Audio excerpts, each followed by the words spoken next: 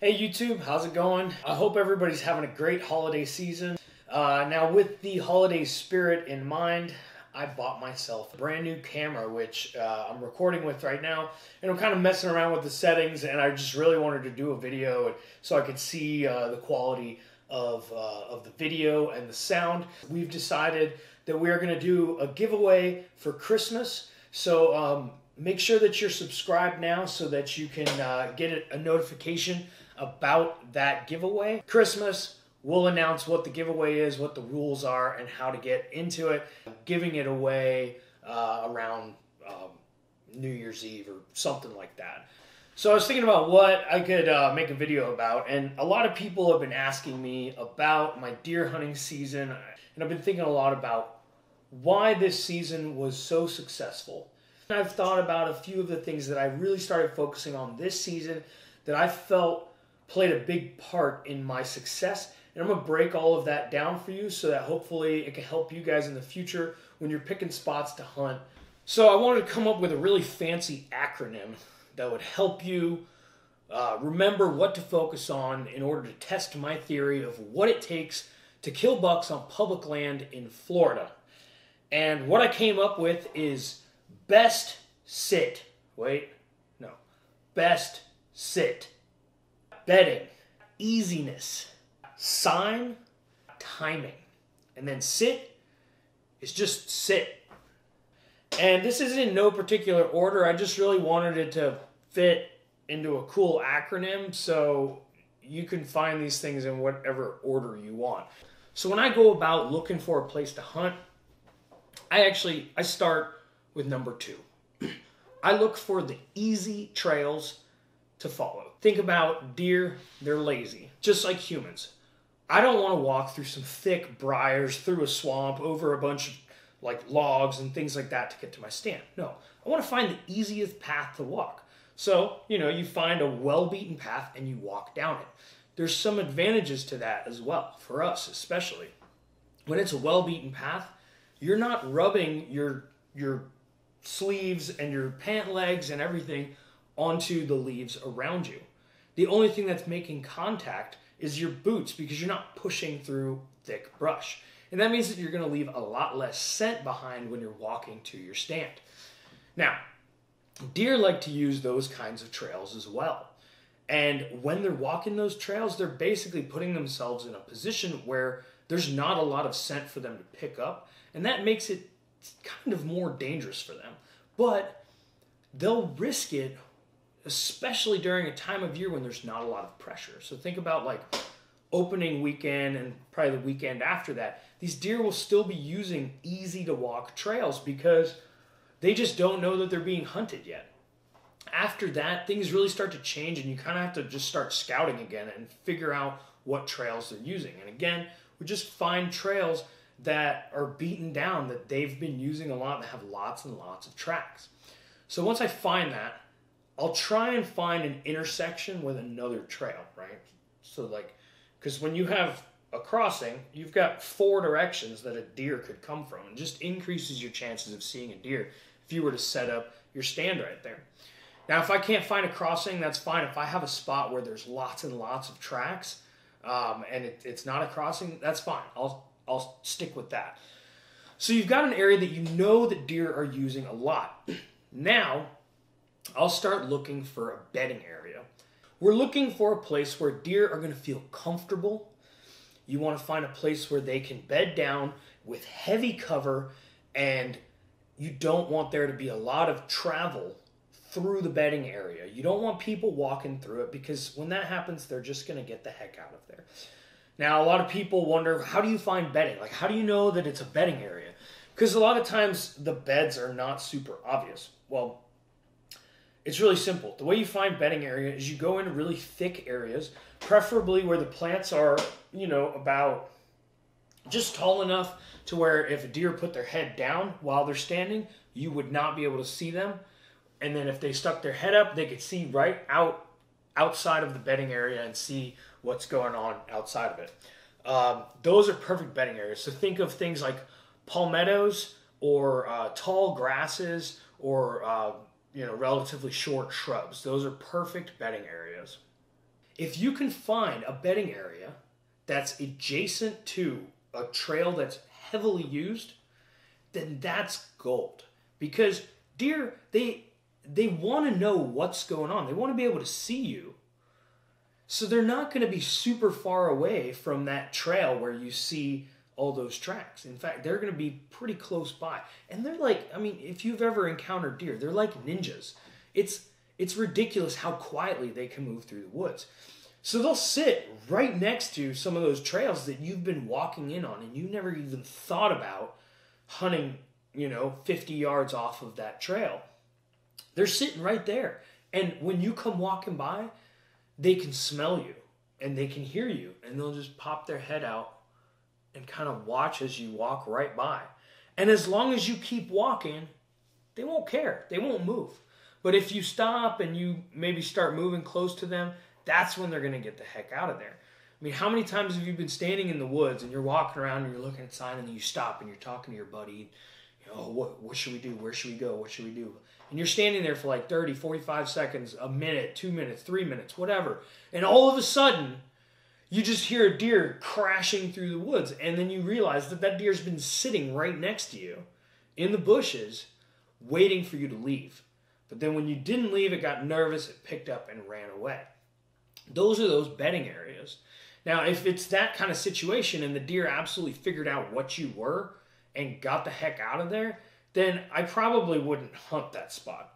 But if that deer had no clue what was going on and it, you bumped it out of there without it really knowing, then chances are it's going to come right back because it's been going to that bedding area over and over and over again and it hasn't died yet. So it feels really safe there.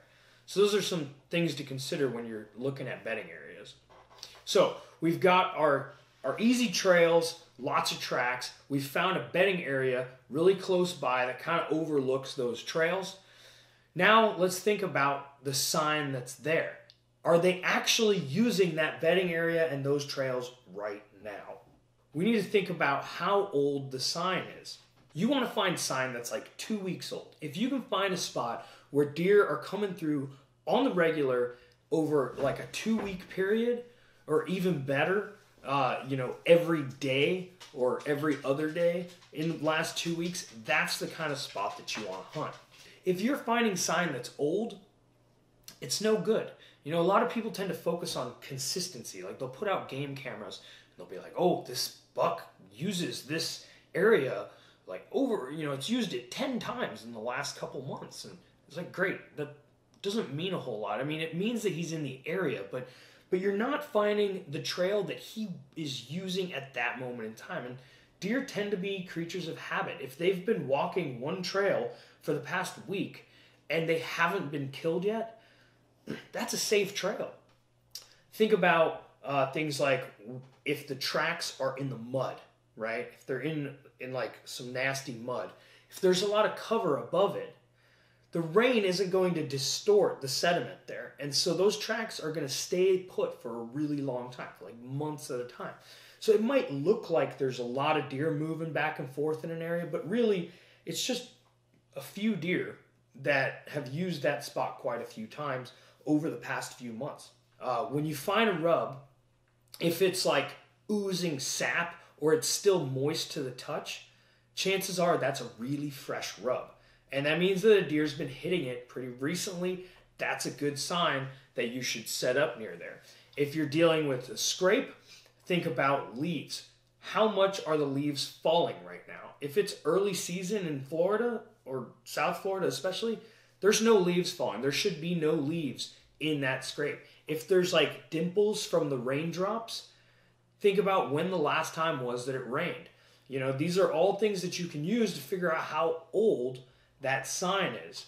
Now, if that sign is really fresh, like within the last two weeks, you've got your good trails, you've got your bedding areas, then you're in a really great spot. And the last thing you need to do is sit. And I mean sit and stay put. The more time you spend in your tree stand there, the better. Now, I won't hunt the same spot more than two weekends in a row. And my theory is basically that once you sit there, your your scent is blowing all around there, right? And And even when you're not there, the deer are going to come through there and they're going to smell that. Now, the first weekend they come through, like after the first weekend, they'll come through, and they'll smell you, and they'll go, huh, a human's been here. Whatever. There's humans out here sometimes. Big deal. It won't care so much. But by the second weekend, they come through and they smell you again. They're like, all right, this guy is coming here regularly. I need to avoid this area. Now, when you think about the fact that you can only use a spot for a short window of time, I like to maximize the amount of time that I spend in that spot. I really don't want to give them an opportunity to move past my stand during the time that I have available to hunt. And that means that I'm basically hunting all day long. Like I'll do all day sits, especially at the beginning of the season.